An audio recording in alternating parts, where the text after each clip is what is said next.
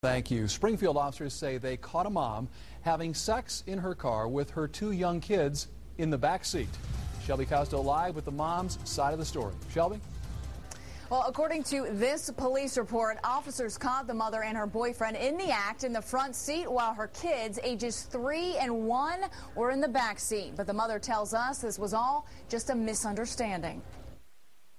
I just want to let everybody know that I'm not a bad mother, really. I do admit that I was drinking with my kids in the car.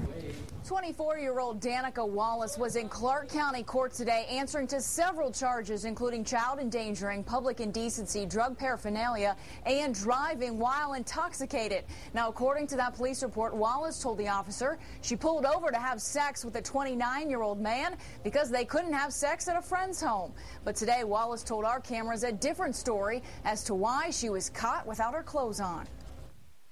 Yes, and I was not having sex in the car, I promise.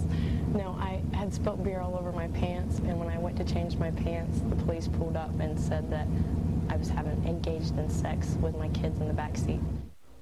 Now, Wallace admitted to drinking and failed a field sobriety test. Police found open beer bottles and marijuana residue inside her car. Wallace said she's getting an attorney to fight the public indecency charges. Reporting live, Shelby Costo, 2 News, on your side.